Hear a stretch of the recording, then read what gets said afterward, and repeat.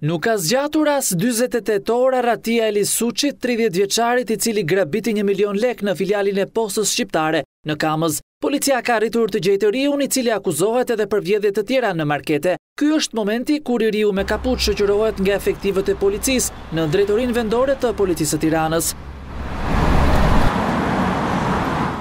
Pas arrestimit të riut iu gjet dhe sekuestrua sasia e parave e grabitur prej një milion lekësh dhe pistoleta me të cilën kërcënoi punonjësit e bankës për marrjen e parave mesditën e së hënës, edhe pse në kërkim për ngjarje të tjera, guxoi të grabiste me armë postën e Kamzës, përballë Gjimnazit Ibrahim Rugova. Një ditë më parë, Report TV siguroi një foto të kamerave të sigurisë, pas grabitjes, ku Suçi me kapuç dhe maskë anti-Covid dhe me qesen me para në duar largohet. Pas ngjarjes, efektivë të Komisariatit numër pesë arritën të identifikojnë bashkëpunëtorin e tij, Algert Kurti, të cilin e arrestoi të martën. Ai mohoi të ketë marrë pjesë në grabitjen e lekëve, në dëshminë përpara hetuesve tregoi se nuk ka qenë bashkëpunëtor, por vetëm në dijeni të planit të grabitjes së Elis Suçit.